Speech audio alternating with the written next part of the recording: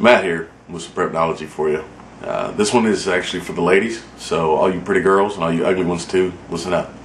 You don't have to wait until it hits the fan to uh, expect crime rate or a crime rate. We've got it already. There's already crime.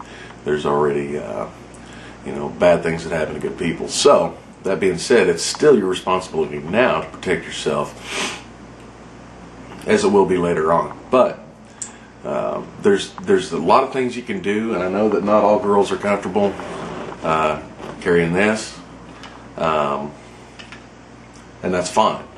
You know, a lot of people, guys and girls both, haven't been brought up around these, so they don't understand them. They, they have a fear of them. That's fine.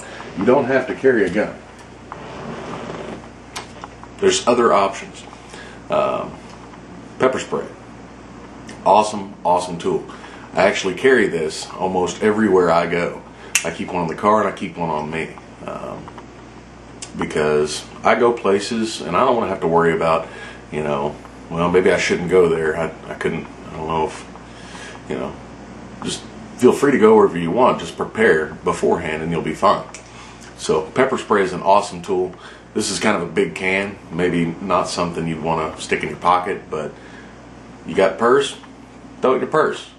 And uh, don't wait until somebody's in your face to pull it out. Go looking for it. If you're in a in an area by yourself and you're walking around corners and you know looking for your car or whatever, go ahead, open up your purse, reach in, put your finger on the button.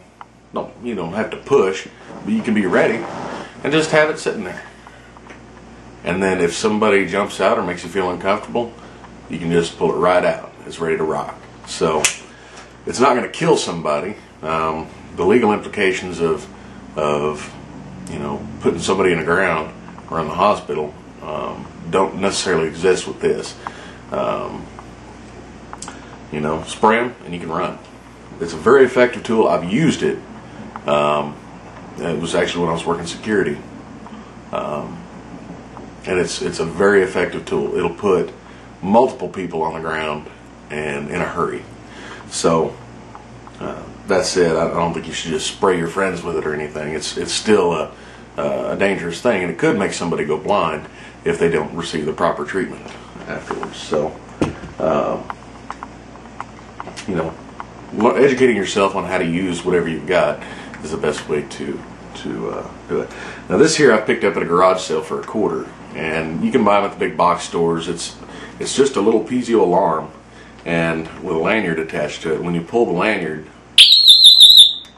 this obnoxious noise comes out and while it may not necessarily stop an intruder, it may give you enough time to know that somebody's breached the entry and is coming in your your residence, your your your space. So um, give you a little bit of a heads up in the middle of the night middle of the afternoon, it doesn't matter.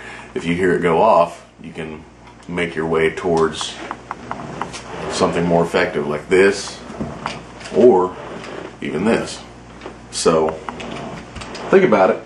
There's there's a lot of things that you can do. There's pepper spray. There's tasers. Uh, I don't have a taser here for you, but uh, um, there's a lot of things that you can do to protect yourself. But the number one tool to have is this right here, because if you're the kind of person that just you know wanders around and and and doesn't really pay much attention to the world around you, then I think you need to change your game because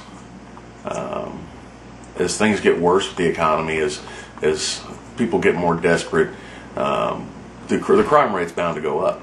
So it doesn't necessarily have to be a total social collapse with rampant crime everywhere to, to start thinking about personal security. So um, and that's that's for the guys too.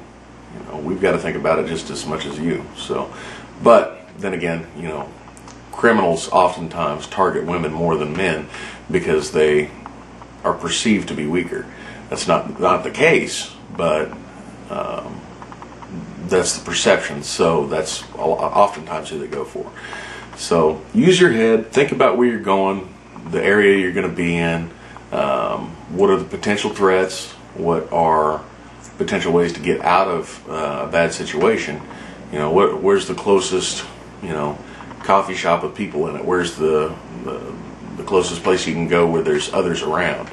Um, because it's it's always more dangerous, male or female. It doesn't matter, but uh, it's always more dangerous to be alone in a place. Uh, it makes you an easier target. Safety in numbers, right? You know, use your head, use your head, and think about where you're going, who you're with, and uh, you'll be a whole lot safer. It doesn't have to be total social collapse for for you to uh, still have the responsibility to take care of you. So look into getting some classes. Look into getting some, you know, whether it's firearms training or whether it's just a, a big bottle of pepper spray um, at the police supply store. So think about it. Uh, if you have any suggestions, you know, there's the comments box down there. Throw something down there. If you're uh, a woman that uh, has been through a situation and gotten herself out of it, I'd love to hear your story. So, thank you. My name is Matt, and uh, I'll be making some more videos.